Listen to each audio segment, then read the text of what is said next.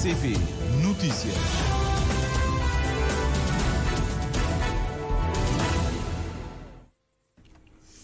Ouvintes, muito boa tarde. São 13 horas na República de Cabo Verde.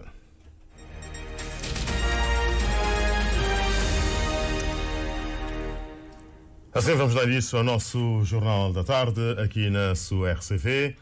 O presidente do Sindicato da Indústria, Serviços, Agricultura e Pesca, SESCAP, anunciou hoje a realização de uma marcha pacífica na quarta-feira, Dia do Trabalhador. Será uma jornada de luta para chamar a atenção dos problemas que afetam os trabalhadores cabo-verdianos, anuncia Eliseu Tavares.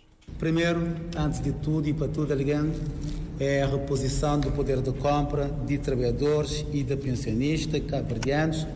Só para nos lembrar que nos últimos três anos, isto é, 2022, 2023 e não pode considerar 2024, não tem uma inflação acumulada de cerca de 15%. Portanto, todo o trabalhador na Cabo Verde está prejudicado para a uh, inflação, quer dizer, para aumento de preços de bens e de serviços. Depois, não tem aquela diminuição de imposto, que é sempre um compromisso que foi feito, e infelizmente, o que não acontece é que não tem deparado que os vários orçamentos de Estado têm estado a aumentar taxas da maior parte de produtos alimentares, inclusive até medicamentos. Portanto, custo de vida aumenta não só através de aumento de preço de mercadoria, mas também através de aumento de taxas logo na sua entrada. A marcha de quarta-feira será também, segundo Eliseu Tavares, um grito de alerta contra a precariedade laboral e o desemprego. Sobretudo na camada jovem. O último censo está falando que só a camada jovem só sofre e representa mais de 27% de desempregados. Uma outra reivindicação é fim da precariedade laboral que tem no país, tanto no setor público, isto é, no Estado, como no privado, onde que ainda infelizmente não tem o contrato de trabalho de prestação de serviço, ainda que a situação ali não sabemos que esses, que esses trabalhadores que têm quase nenhum direito, inclusive gozo de férias, INPS, portanto, uma precariedade que não tem que combater. Outro tema preocupante é a possibilidade do aumento de idade da reforma das mulheres, que o sindicalista quer ver tratado com muita atenção. É uma iniciativa que o governo tem e trata, então não gostava de olhar esse assunto com mais, com mais, com mais profundidade, porque não tem que considerar que eh, é preciso que a pensão, a reforma de, de mulher seja revisto, mas é também que nos lembra que principalmente mulheres, embora hoje em dia o homem está com participa, te ajuda efetivamente, é um dever de ajuda na casa, mas não sabe que mulheres em si tem muito mais trabalho do que homem, trabalho não remunerado que está fazendo na casa, mesmo que esse casal que tudo está trabalho e depois na casa não sabe claramente que está trabalhando mais que a mulher, e então é, é, é, é questões que, entre outras, que deve ser levado em conta. Preocupações do presidente do SESCAP, reiteradas em vésperas das comemorações do Dia Internacional do Trabalho, que é já na quarta-feira. A data será assinalada com uma marcha pacífica na Avenida Cidade de Lisboa a partir das 8 horas da manhã. Responsáveis do Ministério da Cultura e da Unesco encontram-se reunidos com organizações da sociedade civil na cidade da Praia, encontro com a finalidade de recolher subsídios, tendo em vista a elaboração de relatórios periódicos no qual as associações, ONGs e os criativos são parte fundamental. A coordenadora do projeto, Sandra Mascarenhas, avança algumas preocupações e sugestões dos participantes da reunião. A reportagem com Eugênio Teixeira. A Convenção de 2005 da Unesco sobre a proteção e a promoção da diversidade das expressões culturais, instrumento jurídico vinculativo que afirma o direito soberano de formular e aplicar políticas e medidas destinadas a apoiar a criação, a produção e o acesso a atividades, bens e serviços culturais, foi ratificado por Cabo Verde em 2021. O encontro de hoje, realizado na praia, destinou-se à recolha de subsídios para a elaboração do relatório, oportunidade que, segundo a coordenadora Sandra Mascarenhas, foi aproveitada para os participantes colocarem um conjunto de preocupações. Algumas situações têm a ver, por exemplo, com cobrança dos direitos autorais, alguma indefinição em relação, por exemplo, a SOC ou a CC, onde é que o músico, o artista se filia. Há algumas questões que têm a ver com a própria mobilidade dos artistas a nível interno e internacional. Tem a ver também, portanto, já falei da cobrança dos direitos autorais, Alguém falou aqui sobre o acesso a financiamentos, mas não, não que não haja financiamentos, mas uma certa falha na comunicação. Onde é que se vai procurar os financiamentos? Na necessidade de haver tipo uma base comum, onde os artistas, o criativo e as organizações possam ir pescar os financiamentos que realmente necessitam. Outras questões foram levantadas pelas associações e criadores no encontro de trabalho com os responsáveis do Ministério da Cultura e da Unesco. Também que a nível da sociedade civil se falou aqui um bocado sobre algumas questões que têm a ver, por exemplo, com os artistas, os criativos que estão em outras áreas e que muitas vezes, pela inexistência até o momento do estatuto do artista, que, do artista que acabam por ser penalizados, por exemplo, quando precisam realizar atividades no exterior, mas entretanto são funcionários de empresas privadas neste caso. Portanto, são algumas dessas questões, alguns desses desafios que estão aqui a ser abordados pela, pelas organizações, pelos criativos, produtores musicais, etc. Na reunião, disse Sandra Mascarenhas, foram passadas informações importantes sobre o Fundo para a Diversidade Cultural. Dar a conhecer a Convenção, dar a conhecer, por exemplo, o Fundo para a Diversidade Cultural, que é um fundo que a Unesco põe à disposição das organizações da sociedade civil e de instituições públicas e privadas no âmbito desta Convenção e que já está aberta, vai até 15 de junho, portanto, um, mais um meio de, de financiamento que essas associações podem uh, recorrer neste momento. Portanto, foi uma da, das questões que nós trouxemos aqui, mostrar exatamente como funciona o fundo, qual é o formulário, etc., para que possam ir mais além e resolver um pouco a questão do, da mobilidade, da circulação de bens e serviços dentro do país. Informações avançadas por Sandra Mascarenhas, do Ministério da Cultura, sobre a reunião realizada com as associações, ONGs e criadores no âmbito da preparação do relatório da Convenção da Unesco sobre a proteção e a promoção da diversidade das expressões culturais, relatório que deverá ser enviado até 30 de junho. E o Centro Cultural Norberto Tavares, em Somada, vai ser reabilitado e vai custar a volta de 21 mil contos. O lançamento do concurso público para o início das obras vai ser em breve lançado, anunciou o Ministro da Cultura e das Indústrias Criativas, Abrão Vicente. A obra de reabilitação desse espaço está bem ser lançado. Ele é, no tem orçamentado na 21 mil contos, já com o financiamento garantido. E também concurso também sai dentro de dias, para no bem da centro, que também já foi Museu Tabanca, ser dignidade. Santa Catarina merece tudo o que não tem que dar, para modo ele foi, foi também ventre das nações que não tem, dessa cultura rico. A nossa antiguense não tem todo motivo para nos estar orgulhoso de nós ilha. Hein? E nós, barulho de fora, se tem que não tem que ser orgulhoso de contributo que não tem estar para Cabo Verde. Na todo sentido. Também o Ministério da Cultura assinou esta manhã um acordo de apoio financeiro com oito grupos de Tabanca de Santa Catarina, visando a restituição e a valoração da prática, cujo próximo passo vai ser a sua candidatura ao título de Património da Unesco através do Instituto de Património Cultural IPC, assunto que iremos desenvolver no Jornal da Noite. A Assembleia Municipal dos Mosteiros aprova a proposta de empréstimo bancário de 25 mil contos para a conclusão das obras das asfaltagens de vias urbanas daquele município. A reportagem com Nilton Pires. A proposta foi apresentada pela Câmara Municipal de Mosteiros na oitava e última sessão ordinária da Assembleia Municipal do mandato 2024, que ontem teve lugar na cidade de Igreja. O documento submetido pela variação, liderada por Fábio Vieira, propõe a contração de um empréstimo bancário de 25 mil contos para a conclusão das obras de asfaltagem de 6 quilómetros de estrada. Nós assinamos sim um, um, acordo de gestão partilhada com o governo para esta empreitada, mas até esta data não tem havido qualquer feedback do governo, uh, o que nos levou, portanto, a denunciar o acordo assinado na praia e, por isso, a Câmara decidiu realizar mais um empréstimo bancário no valor de 25 milhões de escudos para poder financiar uh, este projeto sem, sem sobressaltos. A bancada do MPD absteve-se na votação do documento. O deputado Carlos Lopes justifica a abstenção da oposição por desconhecer a real situação financeira da Câmara de Mosteiros. Já se recorreu ao empréstimo obrigacionista, volta de 100 mil contos. Quer dizer, está constantemente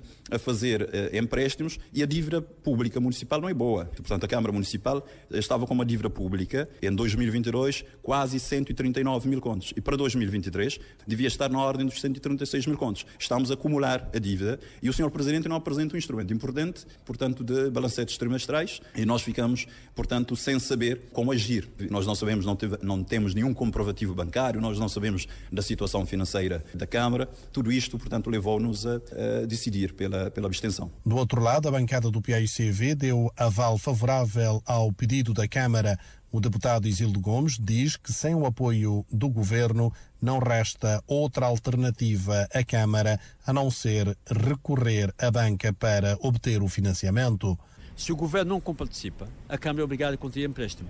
E para isso a nossa bancada esteve bem a suportar a Câmara, porque se a Câmara não for, não, não for a banca, não conseguirá concluir, concluir a asfaltagem. E a asfaltagem vai ser uh, tanto cartão de visita deste município, que vai colocar o município num patamar acima dos outros municípios já têm, já têm, digamos, essa infraestrutura. Por isso é que, lá onde o governo não cumpre, lá onde o governo não apoia a Câmara, nós temos que apoiar a Câmara nas suas intenções. Deputado Isildo Gomes, a propósito da aprovação da proposta de empréstimo bancário de 25 mil contos para a conclusão das obras de asfaltagem de vias urbanas de Mosteiros. A proposta foi aprovada com nove votos favoráveis da bancada do PAICV e três abstenções da bancada do MPD. 27 de abril é um dia importante para os finalistas do Liceu Gilianes de 1974 porque marca o percurso de 50 anos feito por mais de seis dezenas de estudantes que mais tarde se formaram e deram o contributo para o desenvolvimento deste país em vários setores, de acordo com Adriano de Brito Monteiro, da Organização das Comemorações para assinalar a data. Albertino Brito.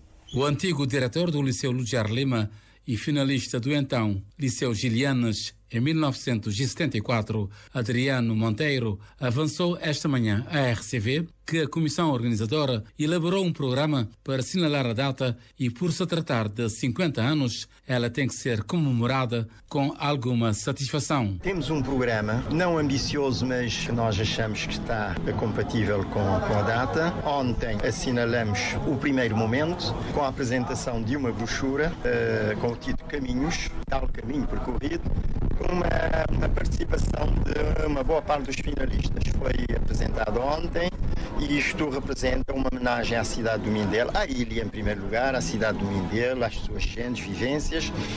E eh, a brochura termina com poemas dos nossos colegas que falam também desse período, falam da experiência vivida enquanto estudantes, enquanto profissionais, enquanto chefes de família. Vários finalistas do Liceu Gilianas vieram para esta festa e para José Luís Rocha Revisitar a escola 50 anos depois é uma viagem ao passado. Revisitar o Liceu 50 anos depois é, é, é, uma, é uma, digamos, uma visita ao passado, uma visita a um passado e, e com a sua projeção para o futuro até hoje. Juliana Olivetti nasceu em São Vicente, filha de pai italiano, antigo funcionário da Italcable na Matiota, entrou para o Liceu Gilianes em 1967 e 50 anos depois regressa com muita emoção. Estou emocionada. Quando eles puseram-se a tocar, sobretudo a canção Mindelo, fez-me lembrar uma vida. Este liceu eu vim em 67, quando ele abriu. Eu era pequenininha. O primeiro professor que eu tive, ainda lembro uma aula, era Baltasar Lopes da Silva, francês, em que estávamos todos em pé. Depois tinha esse respeito com os professores, os alunos levantavam-se, faziam. E éramos pequenininhos com a Isabela contínua do liceu, com aquela cara de má que nos punha todos em fila, tudo justinho. E uma maravilha. Aquilo foi o primeiro ano. Eu fiz o segundo, o terceiro, até ao sétimo, quando tu sentes de grande. Quando chegas ao sétimo ano, tu não olhas para os pequenos. Parece que atingiste um objetivo. Daniel Agapito Silva não esconde o seu sentimento ao pisar de novo o liceu por onde terminou os estudos secundários em São Vicente. É uma satisfação e um sentimento de, de fazer parte desse início e sete anos depois, por não ser finalista, ele é uma coisa fenomenal, que tem descrição, é uma coisa que bota ficar aquele gravado para, para. O programa terminou esta manhã no anfiteatro do Liceu Lujar Lima, no encontro entre finalistas do Liceu Gilianas 1974 e do Liceu Lujar Lima 2024 e à noite será a gala dos 50 anos dos finalistas do Liceu Gilianas. O conhecido humorista cabo-verdiano Yopuxim morreu ontem nos Estados Unidos aos 82 anos, vítima de doença prolongada. Dono próprio João Batista Guerreiro Velhinho Rodrigues, Nhopuxim, natural de Santiago, deliciou muitos cabo-verdianos com as suas histórias de humor, de que recordamos agora um pequeno extrato. Canto me menino, me bom na pantava corpo. Papai tinha um lugar pequenótico obra de si meia caneca cimenteira. Mas pegado com o lugar de papai, tinha um homem português lá de Lisboa, de Portugal, que tinha um lugar tamanho, mais de cinco quartos cimenteira. Mas no mundo, tudo que o Senhor Deus fosse equilíbrio. Ele tinha chão mais chão, mas de pantocor era fora. A minha papai tinha lugar de noite, mas quem cara, de bom. Além de humor, Nhupuxim era também um homem da rádio, tendo na década de 90 apresentado um programa na então Rádio Nacional de Cabo Verde. Chamava-se Nacambar de Sol. Vivia nos Estados Unidos há vários anos, onde viria falecer ontem. A sua morte está a despertar uma onda de reações nas redes sociais, principalmente de pessoas amigas com quem ele conviveram e que viam nele um artista talentoso. A terminar nosso jornal, Domingos Santos é o vencedor do concurso Todo Mundo Canta Santo Antão 2024. A gala final do Todo Mundo Canta Santo Antão aconteceu na noite da sexta-feira, ontem, em Porto Novo, e contou com a participação de oito candidatos. O vencedor irá representar a ilha no concurso nacional, como nos dá conta a Teresa Pinto. A gala TMC Santo Antão aconteceu na aldeia cultural nos Reis. O público respondeu e os lugares foram quase todos preenchidos e os concorrentes arrancaram muitos aplausos do público. Os oito concorrentes interpretaram duas músicas, sendo que uma delas obrigatoriamente tinha de ser uma morna. Domingos Santos conseguiu maior pontuação e é o vencedor do TMC Santo Antão deste ano.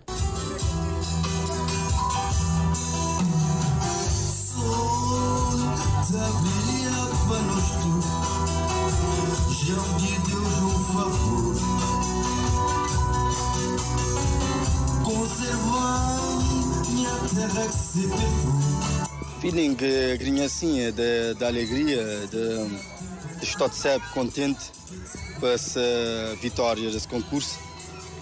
E, e te, te mandar ali um, um agradecimento para tudo quem que apoiamos. Se sempre me acreditar que me estava a vencer, como trabalho, é trabalhar para fazer boa representação na Ilha de Sal.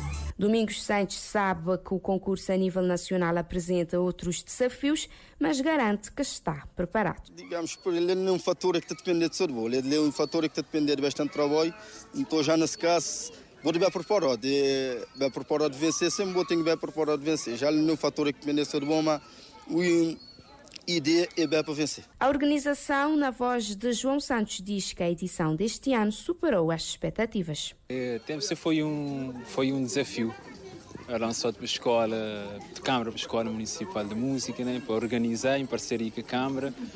Então foi a primeira vez, lá nós, nós é recém-criado como escola oficial, foi um grande desafio. A banda constituída de alunos de escola de música, e esse desafio entre nós, nós ilha, tem cozinha dispersa, Então, infelizmente, não tive um, participantes da outra, da outra localidade, mas é que a gente participar, uh, não ficar bastante gratificado e que nós representando esse Sintantão, de conseguir ter um bom performance e trazer um resultado uh, positivo para nós uh, no mês de maio. Em segundo lugar ficou Dulce Graça e no terceiro, Dilma Lopes. Os concorrentes foram acompanhados pela banda da Escola Municipal da Música. E quando são 13 horas mais 19 minutos, pomos assim o ponto final no Jornal da Tarde deste domingo, deste sábado, dia 27 de abril de 2024. A todos os ouvintes, votos de muito boa tarde e boa sintonia com a Rádio de Cabo Verde. Nós voltamos às 19.